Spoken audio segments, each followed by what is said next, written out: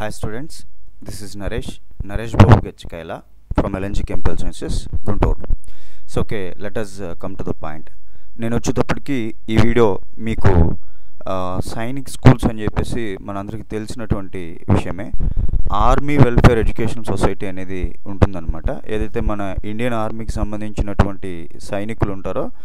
ఆ సైనికులకు సంబంధించినటువంటి పిల్లలు చదువు నిమిత్తం మన ఇండియన్ ఆర్మీ ఏం చేస్తుందంటే ఆర్మీ వెల్ఫేర్ ఎడ్యుకేషన్ సొసైటీ అని చెప్పేసి ఒక దాన్ని స్థాపించి దాని కింద సైనిక్ స్కూల్స్ అనేటటువంటి వాటిని దేశం మొత్తం మీద కూడా ఎస్టాబ్లిష్ చేయడం జరిగిందనమాట సో ఆ క్రమంలో ఈ సైనిక్ స్కూల్స్ ఏవైతే ఉన్నాయో ఆ సైనిక్ స్కూల్స్లో మనకి కెమిస్ట్రీ స్టూడెంట్స్కి ఐ మీన్ కెమిస్ట్రీ వాళ్ళు ఎవరైతే ఉన్నారో వీళ్ళకి పీజీటీ కెమిస్ట్రీ టీజీటీ కెమిస్ట్రీ అని పోస్ట్ గ్రాడ్యుయేటెడ్ టీచర్ కెమిస్ట్రీ అని ట్రైనీ గ్రాడ్యుయేటెడ్ టీచర్ కెమిస్ట్రీ అని చెప్పేసి రెండు రకాల పోస్టులు ఉంటాయి అన్నమాట వాటికి సంబంధించి ఈ సైనిక్ స్కూల్ గోపాల్గంజ్ చూడండి సైనిక్ స్కూల్ గోపాల్ గంజ్ అనేటువంటి ప్రాంతంలో నోటిఫికేషన్ పడిందనమాట దానికి సంబంధించినటువంటి విషయం కూడా మిమ్మల్ని ఎడ్యుకేట్ చేయడం కోసము నేను ఈ వీడియో చేస్తూ ఉన్నాను ఓకే సో రైట్ విషయం ఏంటంటే Sainik school Gopalganj PO Hathwa Hathwa district Gopalganj Bihar eight four one four three six ఇది బీహార్ స్టేట్లో ఉండేటటువంటి Hathwa district district Gopalganj district అనుకుంటాను మేబీ హఠావా పోస్టుకు సంబంధించినటువంటి అక్కడ ఉండేటువంటి సైనిక్ స్కూల్ గోపాల్గంజ్కి సంబంధించినటువంటి నోటిఫికేషన్ అనమాట వేకెన్సీస్ వచ్చేటప్పటికి సో ఫస్ట్ టైటిల్ వచ్చేటప్పటికి Sainik school Gopalganj Bihar functioning under Sainik school society ministry of defence invites application for the for the under mention posts అనమాట సో ఈ కింద చెప్పినటువంటి పోస్టులకి ఏదైతే మన మినిస్టర్ ఆఫ్ డిఫెన్స్ కింద పనిచేసేటువంటి సైనిక్ స్కూల్ సొసైటీలో ఉండేటువంటి సైనిక్ స్కూల్ సొసైటీకి సంబంధించినటువంటి సైనిక్ స్కూల్ గోపాల్ గంజన్ గంజ్ వారు uh, బీహార్కి సంబంధించినటువంటి వీళ్ళు ఈ క్రింది పోస్టులకు నోటిఫికేషన్ ఇవ్వడం జరిగింది అని చెప్పేసి చెప్తున్నారు అవి వచ్చేటప్పటికి సీరియల్ నెంబర్ ఒకటి తర్వాత నేమ్ ఆఫ్ ద పోస్ట్ ఏంటి నే uh, number and uh, nature of nature of vacancies ఒకటి తర్వాత eligibility pay level or salary ఏంటి ఏజ్ ఎంత ఉండాలనేది చెప్తున్నారు అనమాట సో ఫస్ట్ చూస్తే పీజీటీ కెమిస్ట్రీ అండి ఒక పోస్ట్ ఉంది అది కూడా రెగ్యులర్ అనమాట సో ఎసెన్షియల్ క్వాలిఫికేషన్ వచ్చేటప్పటికి two years integrated post graduated MSc course or regional college of education of NCERT e in chemistry అనమాట అంటే ఇక్కడ two years post graduated MSc course of regional college of education education of NCERT in chemistry ఒకటి కానీ లేదా master degree from a recognised university with at least fifty percent marks in aggregation in chemistry అనమాట in chemistry మన భారతదేశంలో ఉండేటువంటి ఏదో ఒక recognised university నుంచి ఫిఫ్టీ పర్సెంట్ మార్క్స్తో ఎంఎస్సి కెమిస్ట్రీ చేసి ఉండేటువంటి విషయం కానీ లేదా two years integrated post graduated MSc course of regional regional college of education of NCERT in chemistry ఎన్సీఆర్టీకి సంబంధించినటువంటి రీజనల్ కాలేజ్ ఆఫ్ ఎడ్యుకేషన్లో two years integrated post graduated MSc course చేసిన వాళ్ళు కానీ లేదా మన ఆంధ్ర భారతదేశంలో ఉండేటువంటి ఏదో ఒక రికగ్నైజ్డ్ యూనివర్సిటీ నుంచి ఫిఫ్టీ పర్సెంట్ మార్క్స్తో ఎంఎస్సి కెమిస్ట్రీ కంప్లీట్ చేసుకుండడము ఇది మొదటి క్వాలిఫికేషన్ అండి దీంతోపాటుగా BEd or BEd that means bachelor of education or equivalent degree from recognised university ఖచ్చితంగా ఎడ్యుకేషన్లో బ్యాచులర్ డిగ్రీ కంప్లీట్ చేసిన వాళ్ళు లేదా దానికి ఈక్వలెంట్ డిగ్రీ కంప్లీట్ చేసిన వాళ్ళు ఇది ఒకటి ఎసెన్షియల్ uh, ఖచ్చితంగా ఉండాలండి అంటే ఎంఎస్సీ కెమిస్ట్రీతో పాటుగా అడిషనల్గా బ్యాచులర్ ఆఫ్ ఎడ్యుకేషన్ కూడా కంప్లీట్ చేసి ఉండాలి మీకు తెలిసిన విషయమే మన స్టేట్లో ఉండేటువంటి మోడల్ స్కూల్స్లో కూడా పీజీటీ కెమిస్ట్రీ ఉంటాయి దానికి కూడా ఎంఎస్సీ ప్లస్ బీఈడీ e అవసరం అవుతుంది అట్లాగే సెంట్రల్ గవర్నమెంట్కి సంబంధించినటువంటి ఈ army welfare educational society Sainik school societies కానీ లేకపోతే కేంద్రీయ విద్యాలయాస్ కానీ లేకపోతే నవోదయ స్కూల్స్లో కూడా పీజీడీ కెమిస్ట్రీ ఉంటాయి సో ఆ పోస్టులకు కనుక మీరు ఎలిజిబుల్ అవ్వాలంటే ఖచ్చితంగా మీరు మీ ఎంఎస్సితో పాటుగా బీఈడీ చేసుకుని ఉండాలి లేకపోతే బీఎస్సీ చేసి దాంతోపాటు మళ్ళీ సీటెట్ ఒకటి క్వాలిఫై అయ్యి ఆ తర్వాత మళ్ళీ మీకు బీఈడీ కూడా ఉండాలన్నమాట అట్లా సో ఇప్పుడు అది టీజీటీకి ట్రైనింగ్ గ్రాడ్యుయేట్ టీచర్కి బస్ బట్ పోస్ట్ గ్రాడ్యుయేట్ టీచర్కి వచ్చేటప్పటికి ఎంఎస్సితో పాటుగా బీఈడి కంప్లీట్ చేసుకుండాలి మూడోది వచ్చేటప్పటికి proficiency in teaching in English and Hindi medium so English హిందీలో ఎందుకంటే ఇవన్నీ నేషనలైజ్డ్ ఇన్స్టిట్యూషన్స్ కాబట్టి దేశం మొత్తం మీద ఉంటాయి కాబట్టి హిందీ అట్లాగే ఇంగ్లీష్ రెండిట్లో కూడా మంచి ప్రొఫిషియన్సీ ఉండాలన్నమాట అంటే బాగా మాట్లాడగలగాలి తర్వాత డిజైరబుల్ వచ్చేటప్పటికి teaching experience in public schools ability to teach through English medium అట్లాగే proficiency in games sports and other extra curricular activities or hobbies అనమాట సో ఇది మొత్తం మూడు విషయాలు అడుగుతున్నాడు ఒకటి MSc chemistry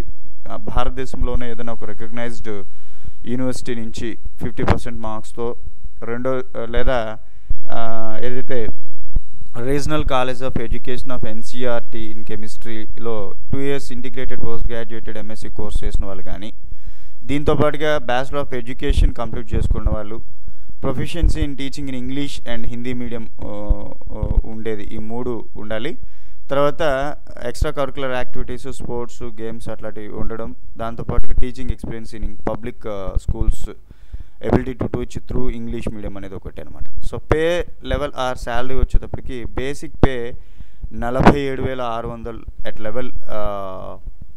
eight as per seventh CPC దీని ప్రకారము నలభై ఏడు వేల ఆరు వందలు బేసిక్ పే అంటండి దీనికి మళ్ళీ అదనంగా టీఏడిఎల్ కూడా వస్తాయి ఏజ్ వచ్చేటప్పటికి twenty one to forty years as on first January twenty twenty రెండు వేల ఇరవై జనవరి ఒకటో తారీఖు నాటికి ఇరవై ఒక సంవత్సరాల నుంచి నలభై సంవత్సరాల మధ్యలో ఉండేవాళ్ళు ఈ పోస్ట్ ఎలిజిబుల్ అనమాట సో రెండవది పీజీటీ ఫిజిక్స్ అనమాట సో ఇది కూడా ఒకటి ఉంది రెగ్యులర్ పోస్ట్ సేమ్ దీనికి కూడా ఎసెన్షియల్ క్వాలిఫికేషన్ వచ్చేటప్పటికి two years integrated post graduated MSc course of regular regional college of education of NCERT in physics లేదా master degree from a recognised university with at least fifty percent marks in aggregative in physics దీంతో పాటుగా second qualification bay bachelor of education or equivalent degree from recognised university profession మూడోది వచ్చేటప్పటికి professions in teaching in English and Hindi medium desirable వచ్చేటప్పటికి teaching experience in public schools ability to teach through English medium proficiency in games sports and other extra curricular activities hobbies అనమాట so అట్లాగే basic pay దీనికి కూడా నలభై ఏడు వేల ఆరు వందలు at level eight as per seventh CPC age వచ్చేటప్పటికి twenty one to forty years as and first January twenty twenty రెండు వేల ఇరవై జనవరి ఒకటో తారీఖుకి ఇరవై ఒకటి నుంచి నలభై సంవత్సరాలు ఉండాలి సో నెక్స్ట్ చూస్తే TGT computer science trainee graduated teacher computer science ఒకటి ఉంది అది కూడా రెగ్యులర్ పోస్ట్ అనమాట so essential qualification BSc or BTech computer science లేకపోతే BCA bachelor of information technology so bachelor of computer application కానీ బ్యాచులర్ ఆఫ్ ఇన్ఫర్మేషన్ టెక్నాలజీ కానీ లేకపోతే bachelor of sciences or BTech computer science అయి ఉండాలంట ఇది ఒకటిదండి రెండో మొదటి క్వాలిఫికేషన్ రెండోది చెప్పుకి graduated degree in any subject with mathematics as a subject and three years diploma in computer engineer or IT from an institution recognised by AICTE university so graduated degree in any subject with mathematics as a subject అంట మీకు ఏ subject అయినా mathematic అనేది ఒక subject ఉండాలి and three years diploma in computer engineer ఇంజనీరింగ్లో తర్వాత I IT from and institute recognised by AICTE or university ఒకటి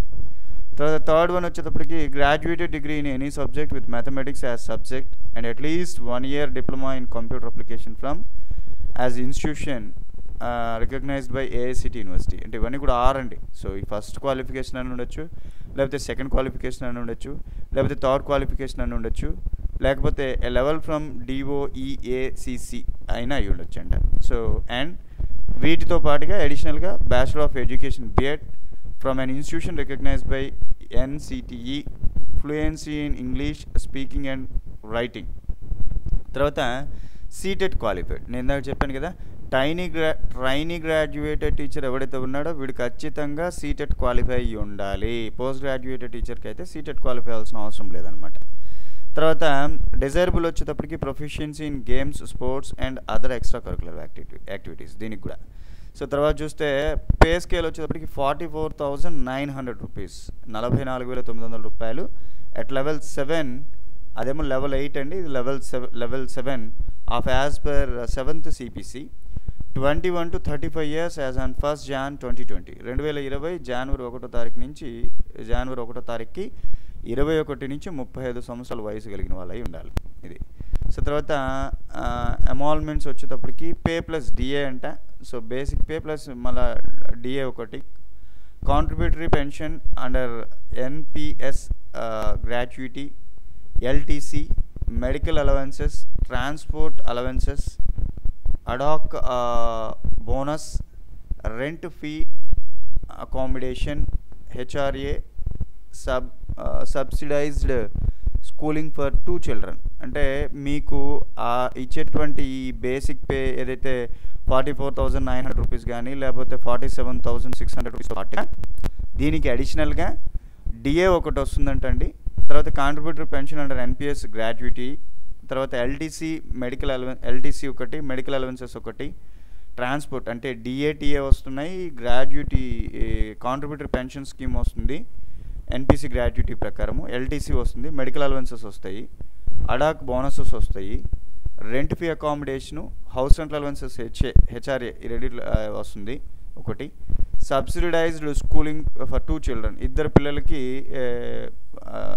సైనిక్ స్కూల్స్లో చదువుకునేదానికి కొంత సబ్సిడైజ్డ్ స్కూలింగ్ అనేది ఇస్తారు అనమాట అంటే ఫీ కన్సెషన్ ఇవ్వచ్చు మేబీ తర్వాత desirous candidates should desirous candidates should apply to the principal Sainik school Gopal Gopalganj PO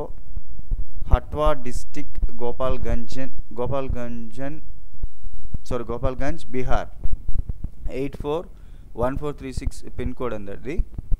on the prescribed format available at sco- uh, school website www.ss.gopalganj along with uh, attested copies of certificates and testimo- uh, testimonials so mentioning uh, percentage from uh, matriculation onwards మన tenth class marks దగ్గర నుంచి అడుగుతున్నాడు percentage A passport size photograph, biodata including uh, telephone or mobile number, email ID, and crossed uh, bank draft or LDC of uh, Rs 500 rupees, general, others, and uh, 400 rupees SC ST, uh, non-refundable drawn in favor of principal Sainik School, Gopalganj, payable at uh, State Bank of India, uh, Narnia branch code వచ్చేటప్పటికి zero nine two one two district Gopalganj Bihar last date of recipient of applications in the school is twenty one days from the date of publication of the vacancy so వీడు ఏ రోజైతే ఇది notification publish చేశాడో ఆ రోజు నుంచి ఇరవై ఒక్క రోజులు లాస్ట్ uh, డేట్ అని చెప్పేసి చెప్తున్నాడండి ఆ లోపు ఇది పంపించాలంట దీనికి మీరు డీడీ ఇవ్వాల్సిన అవసరం ఉంది ఆ డీడీ ఏ అడ్రస్ మీద ఇవ్వాలనేది ఇక్కడ మనము చెప్పుకొని ఉన్నాం తర్వాత ఫోర్త్ వన్ వస్తే school will not be responsible for any postal delay so only short listed candidates will be called for written test teaching practical test and interview no DA DA will be ad, uh, admissible for attending the recruitment uh, process for above mentioned post ఇదొక మాట తర్వాత ఐదో point చూస్తే Sainik schools society rules and regulations presently work and as amended from time to time will be applicable. Post is uh, transformable all India liability. The relaxation for SCST candidates and ex-servicemen is applicable as per the central government rules. So ఇక్కడ ఒక విషయము మీరు application పెట్టుకున్న తర్వాత వాడు మళ్ళీ మీకు return test ఒకటి కండక్ట్ చేస్తాడనమాట తర్వాత ఇంటర్వ్యూ ఉంటుంది మీకు ఎటువంటి టీఏడిఏ ఇవ్వడని చెప్పేసి చెప్తున్నాడు ఆ తర్వాత ఇది ఈ పోస్ట్ ఇప్పుడు ఇన్షియల్గా ఇక్కడ తీసుకున్నా కానీ భారతదేశం మొత్తం మీద సైనిక్ స్కూల్స్ ఏవైతే ఉన్నాయో అక్కడికి ఎక్కడికైనా కానీ మిమ్మల్ని ట్రాన్స్ఫర్ చేసేదానికి అవకాశం ఉంటుంది ఎవరికి మినహాయింపు అంటే ఎక్స్ సర్వీస్ మ్యాన్కి షెడ్యూల్ క్యాస్ట్ షెడ్యూల్ ట్రైబ్ వాళ్ళకి మటుకు మినహాయింపు అనమాట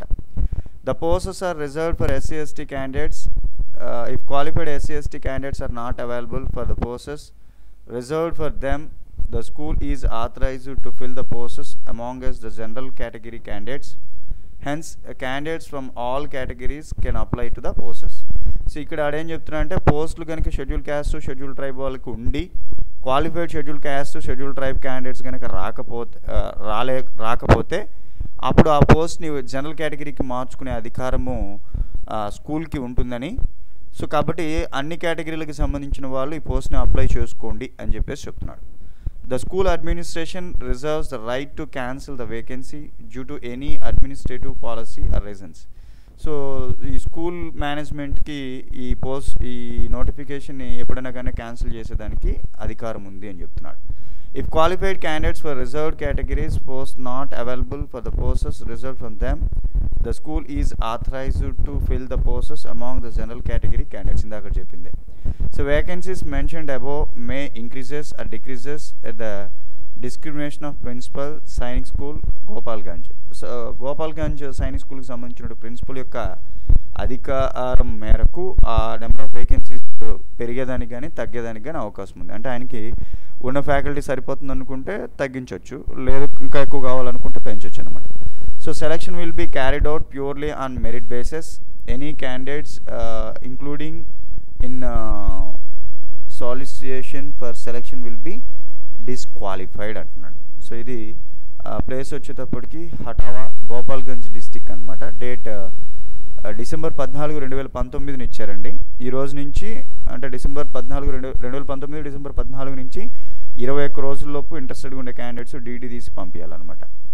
సో ఇది ప్రిన్సిపల్ సైనిక్ స్కూల్ గోపాల్గంజ్ నుంచి ఇది రావడం జరిగింది ఓకే థ్యాంక్ యూ స్టూడెంట్స్ నేను మీ Naresh Babu Gachikela from LNG chemical sciences Guntur మీకు కనుక ఈ పోస్ట్కి అప్లై చేసుకోవాలని ఇంట్రెస్ట్ ఉన్నట్లయితే సో డిసెంబర్ ఇరవై పద్నాలుగో తారీఖు నోటిఫికేషన్ వచ్చింది కాబట్టి ఆ డేట్ నుంచి వితిన్ ట్వంటీ వన్ డేస్ లోపు మీరు డీడీని అక్కడికి పంపించే ప్రయత్నం చేయండి సో మీకు నేను చెప్పిన విషయము గుండా మీరు కనుక ఎడ్యుకేట్ అయినట్టు మీరు కనుక ఫీల్ అయితే ఈ వీడియోని లైక్ చేయండి సో మీ ఫ్రెండ్స్ని ఈ విషయం కూడా ఎడ్యుకేట్ చేయాలనుకున్నప్పుడు ఈ వీడియోని వాళ్ళకి షేర్ చేయండి అట్లాగే మా యూట్యూబ్ ఛానల్ ఎల్ఎన్జీ కెమికల్ సైన్సెస్ని మీరు ఇప్పటివరకు సబ్స్క్రైబ్ చేయనట్లయితే సబ్స్క్రైబ్ చేయండి Thank you students. Nenu Naresh Babu Gachkela from LNG Chemical Sciences, Guntur.